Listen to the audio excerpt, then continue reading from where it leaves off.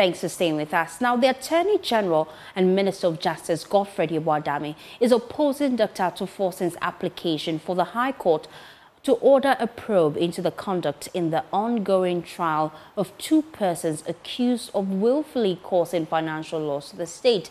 Ato Forson, the minority leader in parliament and first accused in the ambulance procurement case, wants the AG's conduct probed following an allegation by the third accused in the case, Richard Jakpa, that the AG had been trying to recruit him to aid Dr. Forson's prosecution.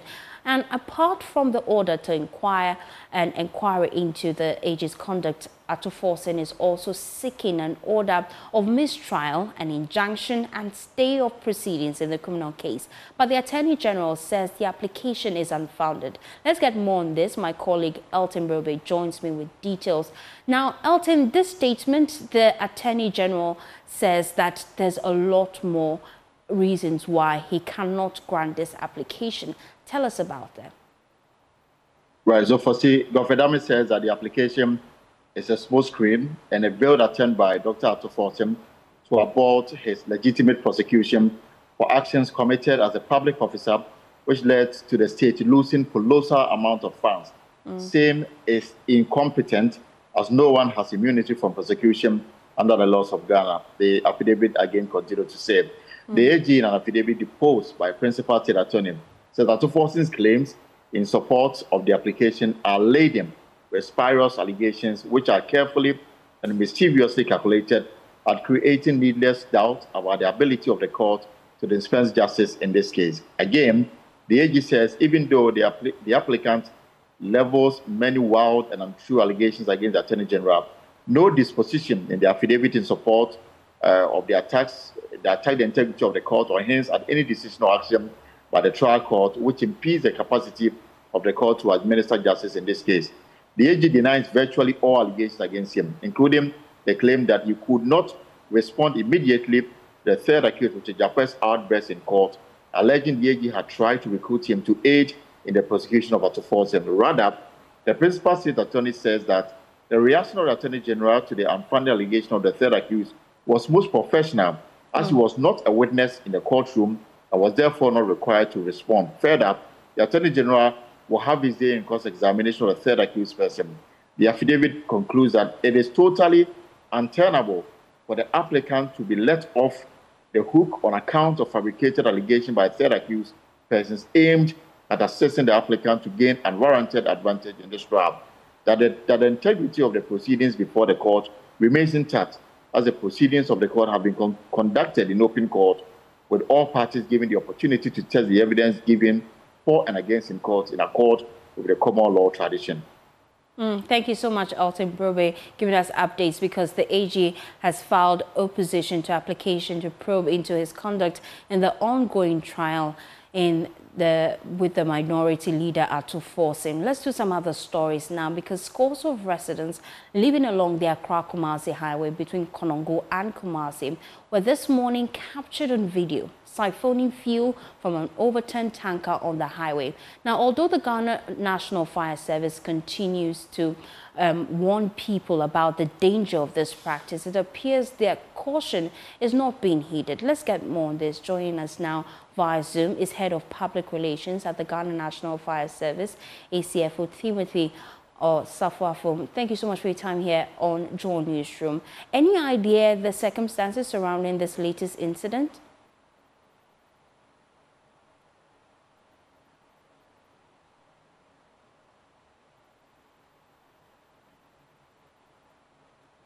Mm. Well, you would have to unmute for me so that I can hear you clearly. Unfortunately, I can't hear you at to speak. If you just tuned in, we were discussing um, the concerns raised by the Ghana National Fire Service. On your screens now are visuals of individuals living along the Kumasi Accra Highway, Konongo to be precise, siphoning fuel from an overturned tanker. And the Ghana National Fire Service is raising concerns that this should not be done in any way. Unfortunately, we can't hear you. Um, we're trying to reach the PRO of the Ghana National Fire Service. Its connection has been a bit difficult, but we'll come back to the story when we have him on. Now, let's take you now to Parliament because delayed tax waiver approval is compelling companies to flee Ghana. That's according to the Majority Leader Alexander Afenyo-Markin. The majority is currently battling fierce resistance from the minority on the Finance Committee against the approval of some $350 million tax exemption for 42 companies. Now, speaking on the polls on Friday, the majority leader accused the minority of double standards for criticizing government when they have in the past granted over 800 million cedis to Meridian Port Services, tax waivers to Meridian Port Services in 2014 alone. This company invested 1.5 billion dollars in that port expansion mm-hmm. project. Now they brought a 950 million dollar plus 908 let me quote the exact amount the application that was brought by uh, honorable Ato Forson and Honorable uh, Mona Quartey, mm. his deputy minister, they were deputy finance minister. The deputy finance minister, Dr. Forson, the minority leader right. of today. Mm-hmm. He was a deputy finance minister. He and Madam Mona Quartey, uh, Mona Quartey they brought the application to Parliament. Mm-hmm. They brought an application of 982 million cedi tax waiver. Mm-hmm. Okay? Eventually, Parliament approved 832 million. I am not criticizing the decision to grant tax waiver. I am rather because they qualified at the time. Of course, I am exposing their double standard, their double talk, and their hypocrisy. Now, let me read something more to you. Specifically, what this means mm-hmm. is that for every one dollar that MPS invested, mm-hmm. we granted them almost 55 cents in tax waiver. More than half of, right. of one dollar. Right. Now, apart from that, listen to this. The company was also granted an exemption. It was exempt from corporate tax for 10 years and a reduced corporate tax of 15% over another 10 years for an additional five years. And again, finally, they were excluded from paying taxes on dividend to shareholders for 20 years. Listen. For 20 years. 20 years. Meaning it's, it is still, this contract is still in session. They started somewhere 2016. Exactly. Now, after you've given them waiver on importation of the equipment, raw materials, whatever, you again saying that the profit that they make, the dividends, they are first of all, they are not even paying tax on profits. Right. You again said that they are, the, the shareholders would also not pay tax mm-hmm. on dividends.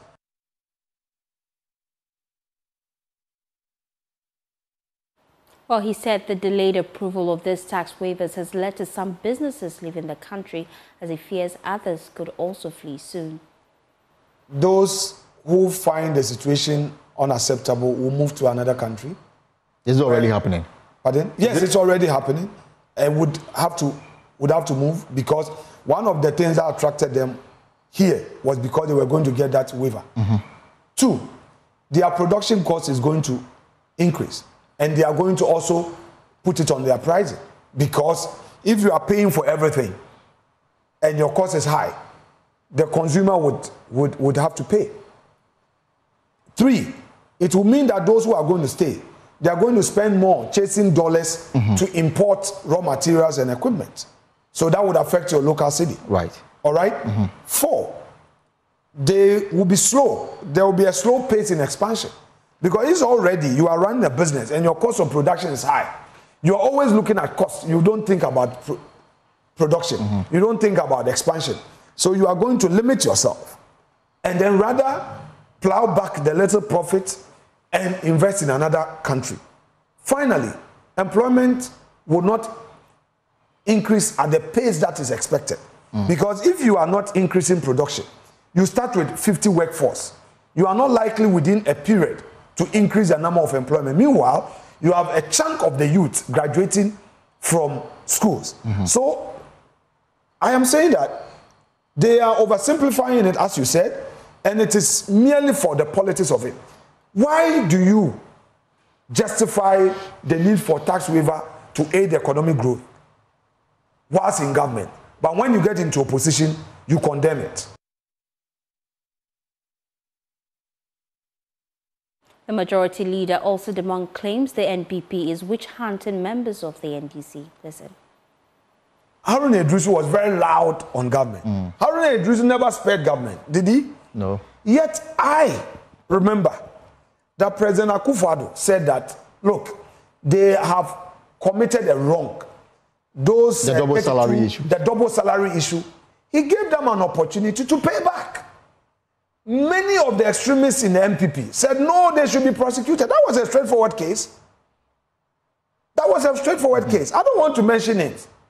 But a lot of the leading NDC MPs who were ministers were caught in that web. Akufo-Addo said no. Why prosecute that large number of political class? No, it's not right. In any serious democracy, look at certain consideration. So what would be the gain if Harun Iddrisu, Armah-Kofi Buah, Mahama Ayariga, and all others were thrown into jail? It was a straightforward case. Right. You've been paid double, you've taken it. We could have read dishonesty in it, we could have read fraud, but the government said no.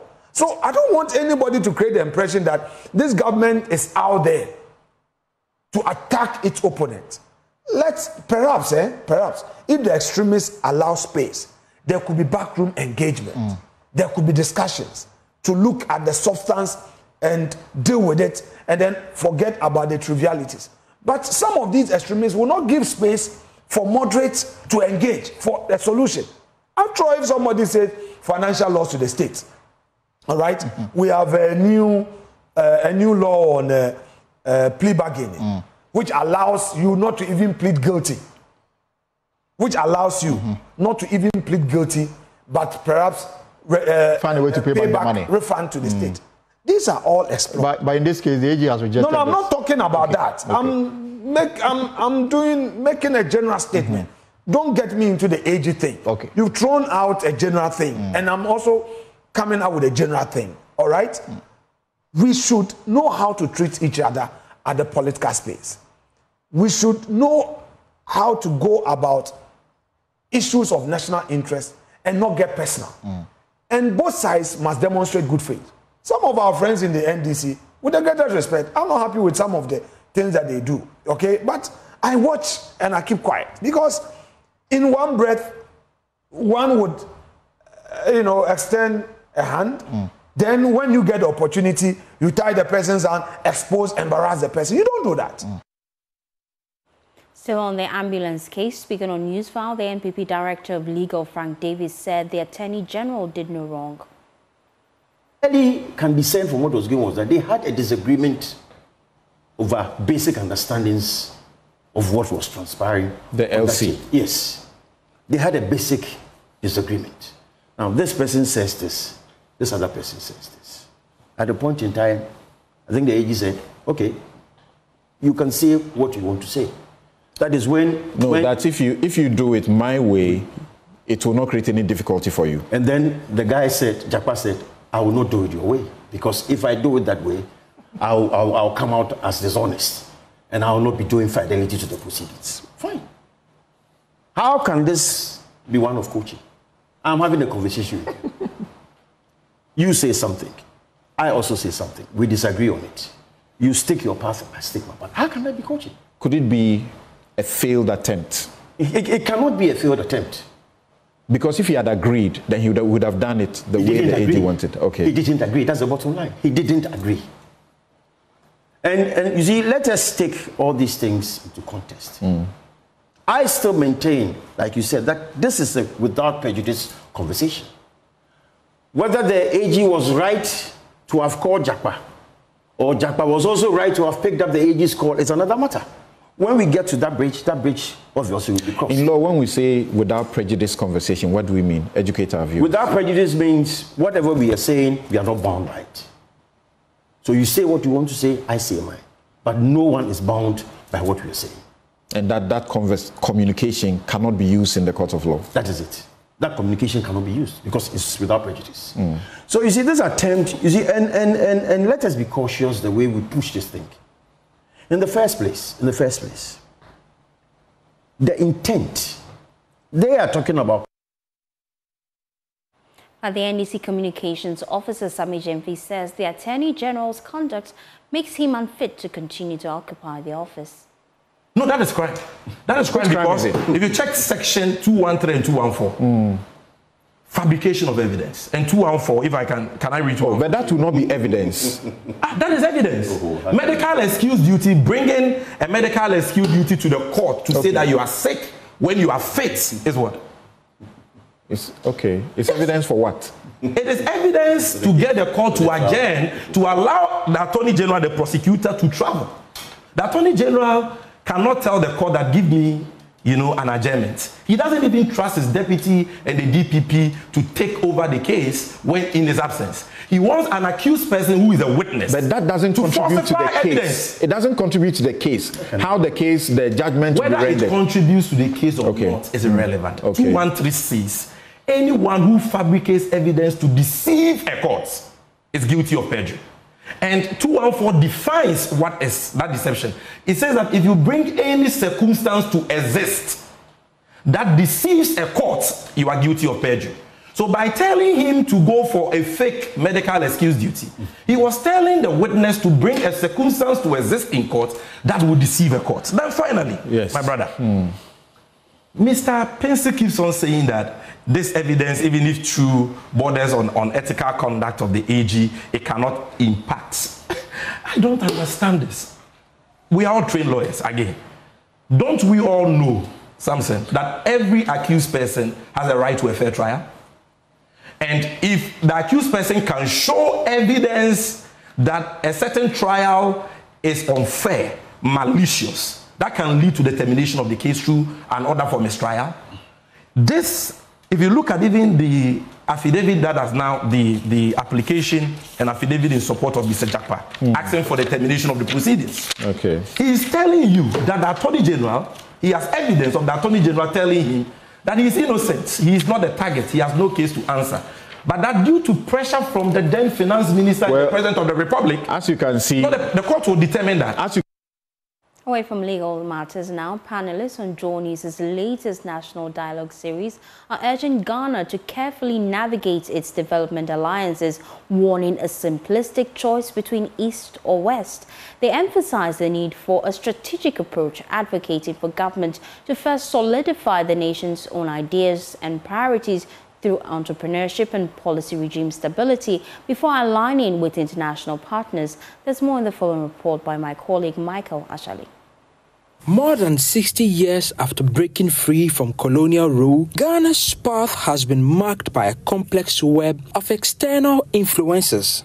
The latest Joy News National Dialogue series explored whether Ghana should set its sights towards the east or west. For many of our panelists, the answer is not straightforward. Here is former Executive Vice President of Unilever, Yaw Nsarkoh. The rhetoric seems right the reality is very far away. So for me, looking east or west is not really what the issue. What is at the storm center, the epicenter of what we are trying to do? The epicenter has to be that we are trying to secure the long-term health of our society. Professor H. Kwesi Prempeh, who is with CDD Ghana, says our options are limited because of huge constraints. I think around the table there's clearly an emerging consensus that rejects this binary framing of the mm. issue, East or West, for a number of the reasons that both Yaws have enumerated. But I think the question also presupposes a certain agency on our part, right? I mean, to be able to look east or west, south or north, northeast or southeast, mm. assumes that you are in a position of exercising some agency. We are in a place now where, uh, unfortunately, our options appear quite limited. Um, and, and so, really, we, uh, when your options are that limited, uh, you also find yourself in a place where you may not be able to make the, the wisest bargains for yourself. For the coordinator at Third World Network, Dr. Yaw Graham, the answer is not simply between East and West. The state can consider other countries. Escape the straitjacket of framing the problematic in terms of the two powers who are in contest mm. with the United States or in contest with NATO. However, two key points emerged clearly in their commentary. we must be strategic and cautious, embracing a balanced mix of influences from both the East and the West. Importantly, they emphasize that we must first define our national aspirations. Arab conservative, reactionary, authoritarian money mm. From authoritarian Arab regimes is shaping this our continent. So, so I mean, when I saw the East or West, quite frankly, mm. I saw it as a play on Nkrumah's famous statement. Mm. On the economic front, the professor of economics at the University of Ghana says we can start by encouraging entrepreneurship and prioritize value addition. We know that the destination takes quite a number of years. The destination is not a four year election cycle, it is not eight years, and there is no continuity. You need to practice to perfect these, these models. Ghana and Ivory Coast are the largest producers of cocoa. Mm. Why can we not add a bit of value? Professor H. Kwesi Prempeh believes without making some constitutional changes, we risk becoming a country without choices. Why don't we decouple? You know, um, presidentialism from party politics. In other words, let's elect our president on a no-party basis, mm. right? And we can confine the uh, you know uh, uh, political parties to the legislative elections. You know, I fear though that somehow we've written ourselves into a constitution that constrains us hugely in terms of moving forward. Dr. Yaw Graham assessed that Ghana must diversify its interest beyond cocoa and gold. So, so, so there are lessons to learn from China and many other late industrializing countries. In the same way they were planting something before cocoa came. Mm. Some farmers who are growing, say, producing cassava, for example, or yams, if they can grow in the same area. In economic terms, the farmers may want to make a switch. Cocoa as, a, as, one, as a, one single crop, which has caused the most deforestation in our history, because it's always looking for virgin soil. But cocoa is an accident crop in this country. It's an accident crop. It could have been coffee. So, so even to think about the commodity dependence, and then you look at our extractives. Gold is a mineral which is much in demand. But compared to other minerals, gold is actually a relatively useless mineral. It is not as useful, for example, as clay. Yaw Nsarkoh emphasized that to advance in agriculture and development, Ghana must first address the critical issue of land ownership. I do not know a country throughout human history that did not benefit from colonialism or slavery that made it to prosperity without radical land reforms. If we succeed, we will be the first in human history, and I wonder why we should be, we, we will be the only ones. So that's a major issue. For Joy News, Michael Ashali. Now we are your election headquarters. Regardless of the consequences, Ghana will never accept homosexuality. That's according to NPP flag bearer and Vice President Dr. Mahamudu Bawumia speaking during a meeting with the Regional House of Chiefs in the Oti region. He said Ghana's religion and culture does not accept the practice, hence the country will stand firm against it. Nananom asɛm a ɛnam ghana these days a mepɛ sɛ mebɔ so kakra ɛyɛ lgbtq asɛm no. Sɛ mmaa ware mmaa ne mmarima ware mmarima no. Ɛne deɛ ghana yɛ culture yɛmpene so. We will never agree. We will never agree lgbtq no our religion doesn't accept it. Our culture doesn't accept it. So it's no, no, no, no, no. Yeah, yeah. So no matter what the consequences are, we are going to stand firm on our beliefs. We will never agree to such a thing uh, in our uh, jurisdiction. Yeah, yeah, yeah. So we will not do. Well, in interacting with some of the chiefs from the Oti region, they raised concerns about stipends owed some NABCO personnel, urging the vice president to ensure the payments are made swiftly. NABCO trainees are now yet picking for about four years back. and uh, program no ended.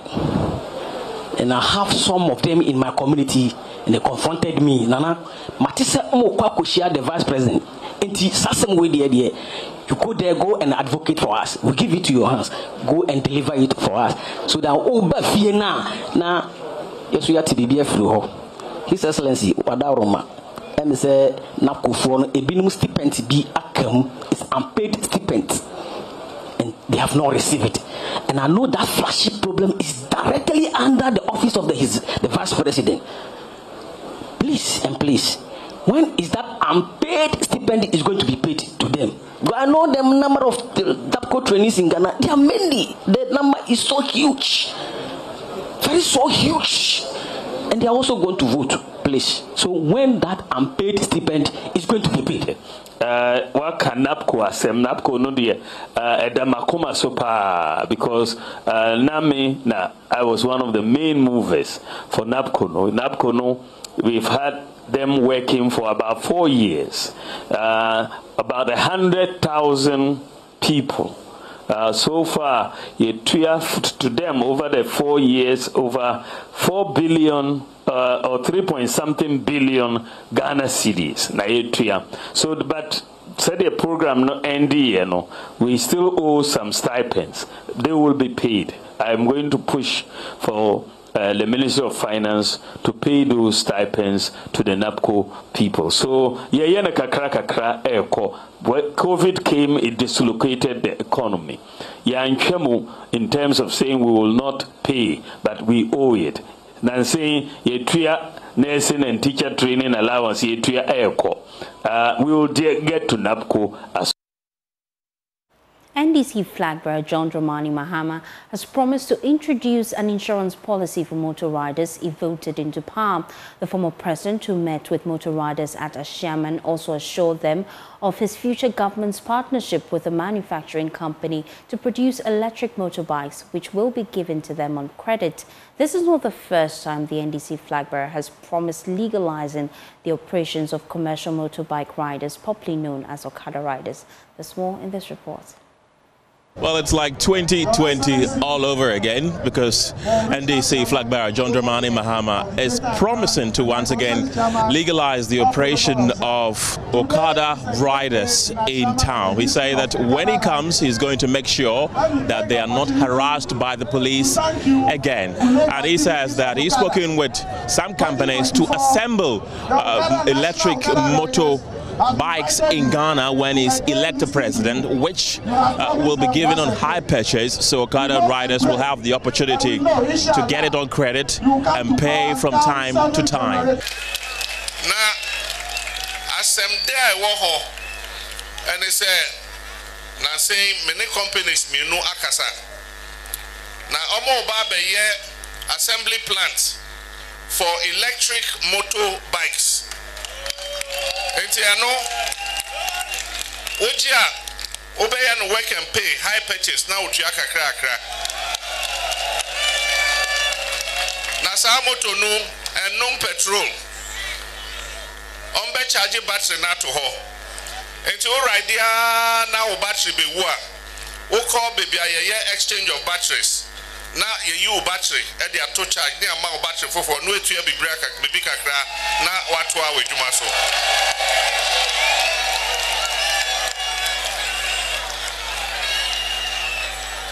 Mo adwuma ho hia paa.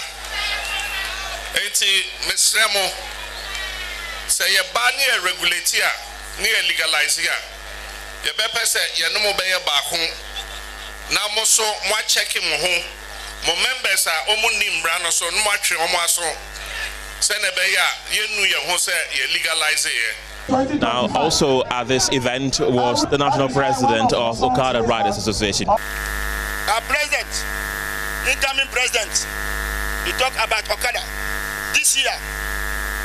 The same thing he repeat about Okada. And we want the president to be aware, the incoming president to be aware that, inshallah,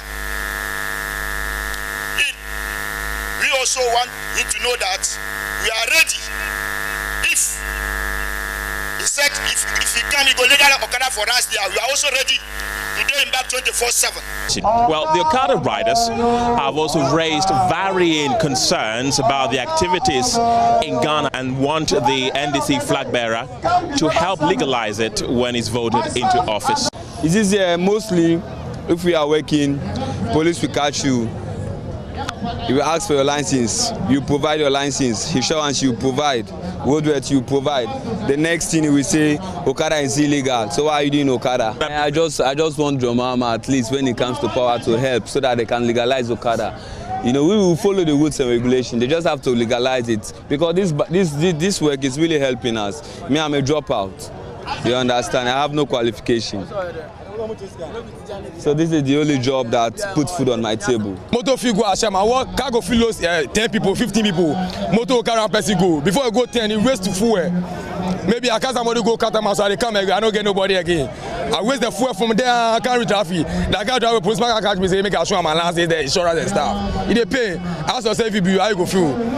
Now the whole day you work all I carry like 10 people. Now take the money go pay for where they say insurance and stuff. How you go feel? Now they go as carry zero go house without empty pocket. And the family sleep for hungry inside without. You understand? So this policy they bring I mean sweet me pa. To need with the balance make we legalize them for you.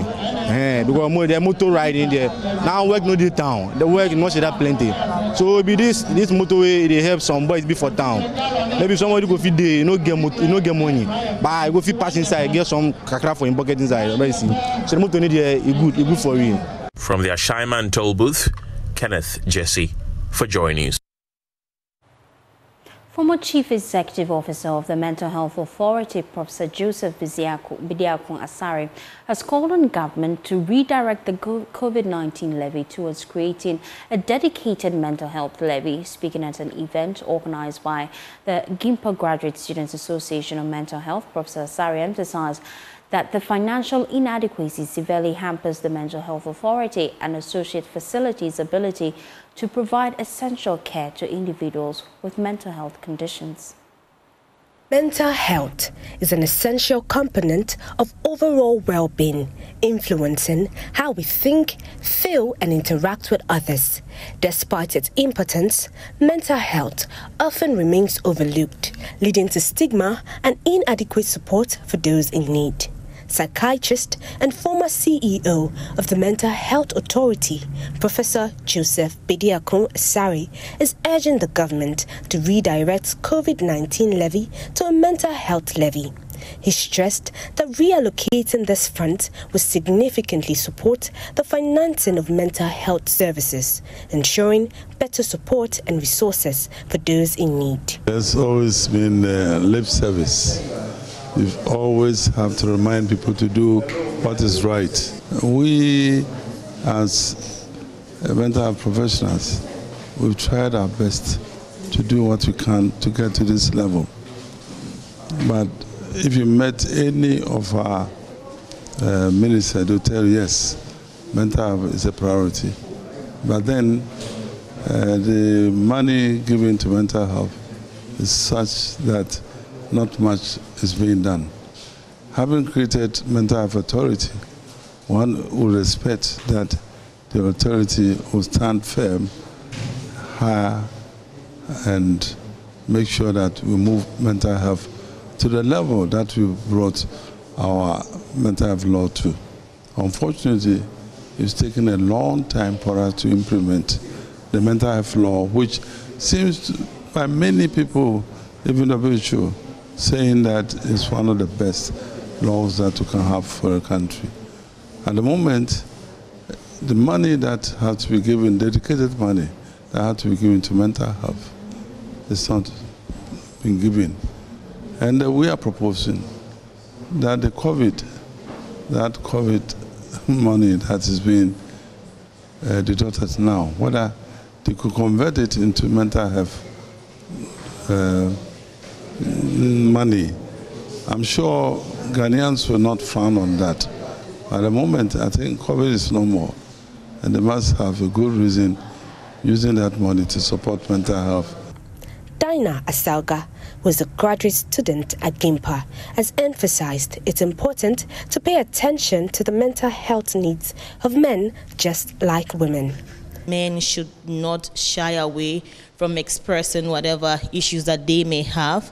Additionally, the communities and their partners should also support them and give them a listening ear. They shouldn't assume that because they are the head of the family, they should be okay at all the time. Men, mental health should also be prioritized, and this is an issue that everyone should kind of like engage in and have conversations around how best they can also um, support men who are victims of mental health issues. The public has been encouraged to take mental health issues seriously and seek help when necessary. Semifa Rejoice Besu's report read to you.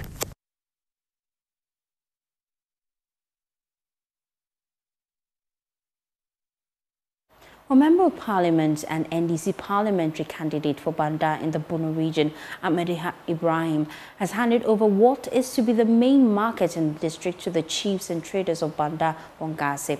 Sellers and buyers from across the country could not wait for the first phase of the 240-stall market project to be fully completed. The situation, Ahmed Ibrahim says, underscores the significance of the 1 million cedis Banda fishing market and the potential of improving livelihoods in Banda.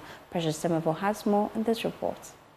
Banda is a fishing district in the Bono region due to the Bui Dam Lake upstream, but it is without a central market, a situation that makes converging for trade a challenge, as well as denies the assembly revenue. The MP Ahmed Ibrahim, in fulfillment of a promise, has handed over a partially completed Bandaman fishing market to the chiefs and traders at Banda Bongase upon the insistence of the people who say they can't wait for it to be completed before assessing it. While some scramble for a place in the market stalls, others are erecting temporary structures to enable them sell their wares. The MP said in addition to his support to enhance effective trade and movement of goods, the 1 million Ghana cedis market will improve access to livelihood opportunities. So this is the regional fishing market for the Bono region.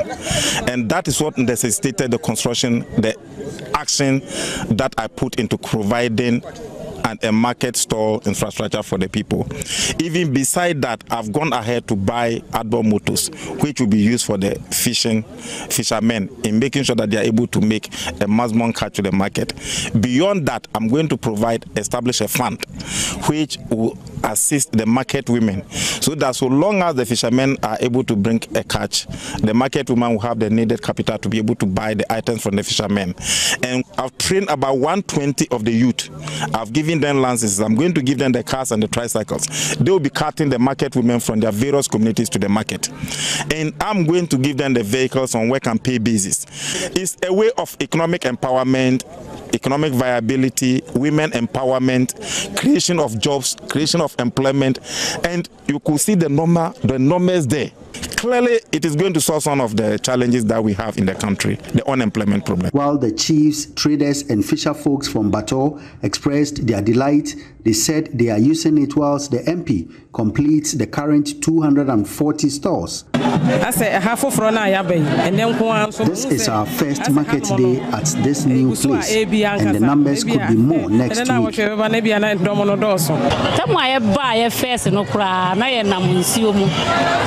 We used to trade in the mud close to the lake with horrible conditions when it rains.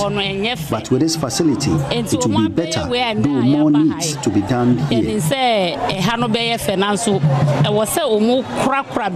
Though he has not finished, we want to work so he will be serious about completing it for us. We are happy. Ah, the national chairman of the NDC, Asiedu Nketia, appealed to the market leadership to ensure proper sanitation at all times.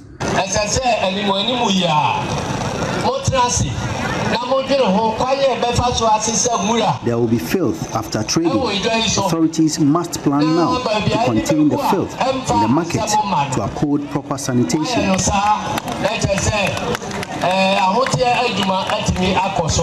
Precious Semevo, Joy News, Sunyani. 11-year-old British African Sarah Kittle has handed over a refurbished e-library St. Paul Methodist Preparatory School at Tema to enhance learning.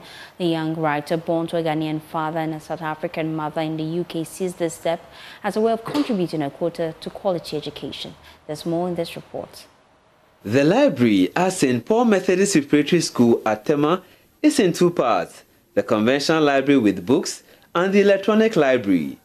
Sarah Kito had the desire to give the place a facelift after visiting the school, which is her father's alma mater last year, to donate some books.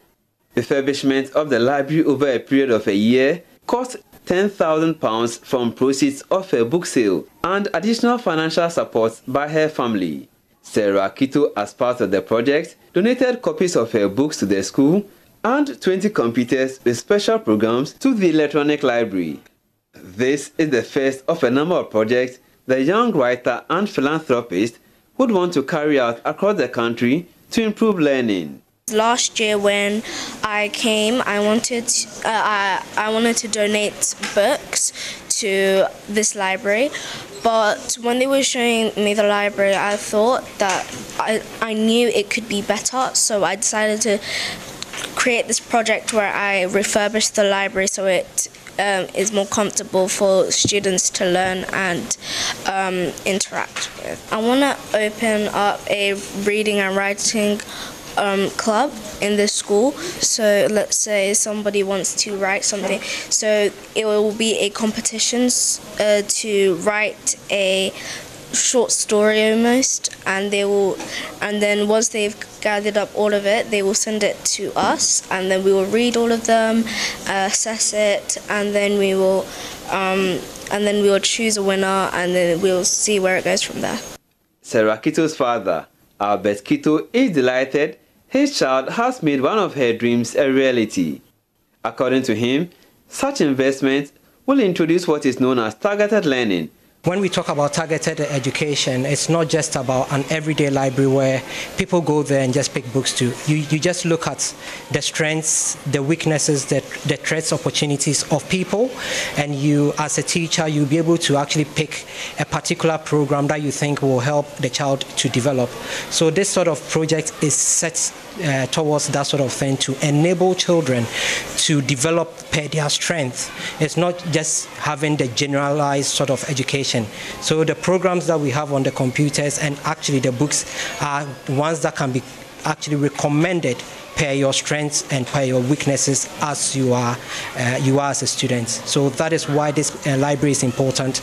The goal of this library is probably to develop a, a number of them across the country as well as across Africa.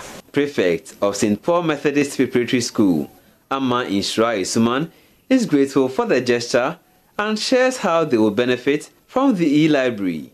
First of all, I'm very happy to get these computers. And then it enhances us to learn more and more. So I've learned some mathematics and then there are also fairy tales so I can listen to stories. I thank her for this generous donation. We really appreciate it and we are grateful because this will enhance the students for their learning experiences. Meanwhile, her teacher at St. Paul Methodist Preparatory School, Nana Kofi Bedu, expressed gratitude to Sarah Kittle and her family. Our curriculum is something that we have picked from there. And so what we have failed to do is that we have always used traditional means. Uh, so with the technology now infused in our learning, then it brings out the innovation, the critical thinking and all other aspects that the child also needs to do to bring out what we call the quality education. We express our gratitude to Sarah and the Kittle family.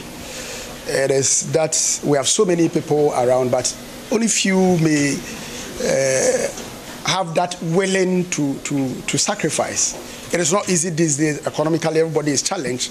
So when you have somebody um, cough out as much as 10,000 pounds to do a project like this, I think we have to be grateful and we thank them. The school children, teachers, and participants were treated to performance from a cappella group, Alabaster Box.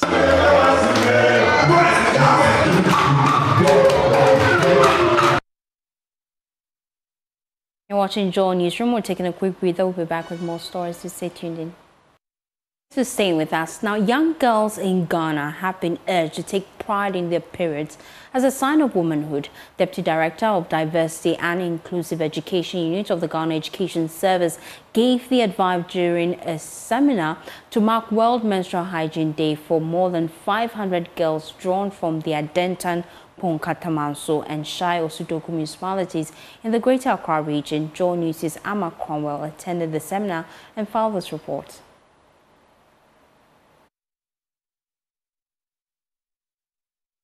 The event, organized by Young Trust Foundation and UNESCO in collaboration with the three municipalities, brought together over 500 adolescent girls from basic and senior high schools. It was under the theme Empowering Young Schoolgirls My Period, My Confidence. Retired Deputy Director of Education Dinah Oseteria called on parents and teachers to educate themselves about menstrual health to help end the stigma associated with periods and also to teach girls that experiencing these changes is perfectly normal. By focusing our efforts on providing menstrual hygiene products, we are just meeting a basic need. We are investing in the potential of every girl to become a leader, innovator, and change maker. She further urged young girls to embrace their periods with confidence, seeing it is a testament to their femininity and power. Your period does not define you, it is a natural part of life that should be celebrated, not feared. It is a reminder of your body's ability to create life, to grow, and to change. Embrace it with confidence, knowing that it is a testament to your femininity and power. In a speech read on her behalf, Deputy Director of Diversity and Inclusive Education Unit at the Ghana Education Service, Nana Amamensa, urged the girls not to be ashamed of having their period, but to take pride in it as a sign of their womanhood. As young women, it's crucial for us to discuss and address the challenges associated with menstruation. First and foremost, as females, let's acknowledge that menstruation is a natural process, a sign of a healthy body, a symbol of fertility. Yet, unfortunately, across various societies, it's still a subject often veiled in stigma, myths, and silence. Though there have been significant works in addressing these barriers, more work needs to be done in order to create an environment of openness, understanding, and support. Project Director of the Young Trust Foundation, Benedicta Santi, advised the girls not to allow menstruation to impede their social life. If you are menstruating as a young one, you should be confident. You shouldn't be timid. You shouldn't say just because of my period, I'm staying back at home, I won't go to school all these um, do not bring out the best in our young ones to get a Let's take you now to the Aviation Center where we're having the Hitz FM Rep Your Jersey. It's live and it's happening right now. It's Ghana's finest entertainment radio show and it's all around this country.